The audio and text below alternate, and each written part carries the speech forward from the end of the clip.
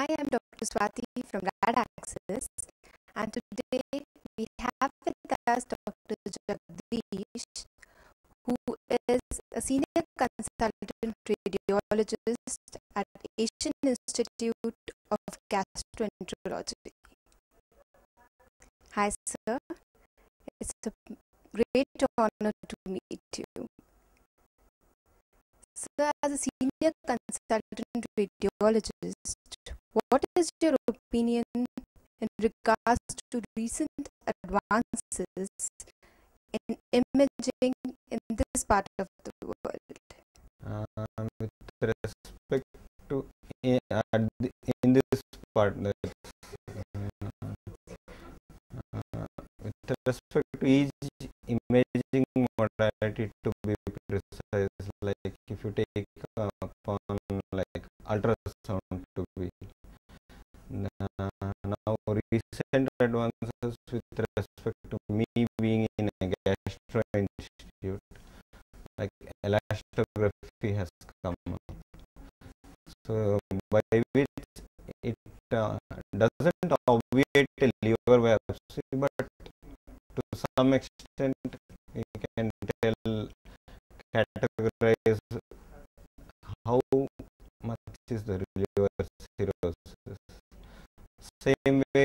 can use uh, uh, ultrasound contrast media by which we can uh, decrease the use of CT scan. And sometimes post TACE we do post ablation methods like RF ablation we do for liver tumors. By that we can decrease, we can do the sono contrast, hardly there is any side effects, no non non-ionizing radiation. So that way.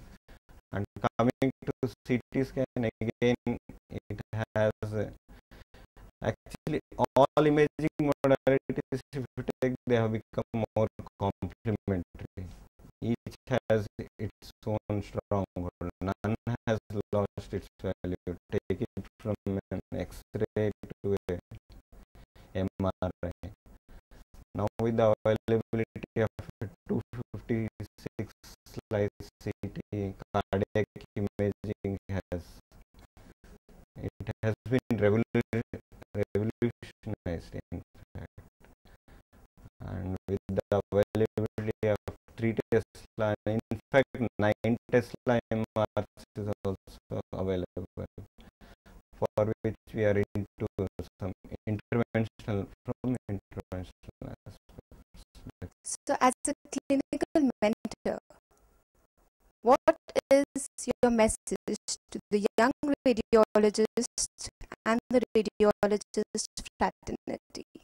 Uh, to the young radiologists, well, uh, I would like to advise them not to confine themselves to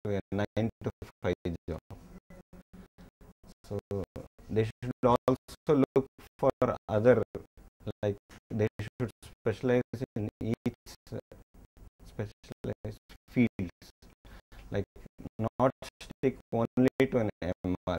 Even in MR, there are multiple diverse, like they can take it as breast imaging or musculoskeletal imaging. And to some extent, I think interventional radiology also been lacked a lot in India, due to which even the radio cardiologists and other people, other uh, medical clinicians have been taking it. What is your advice or inputs to RAD access? Well, this would be a better coverage like what you are doing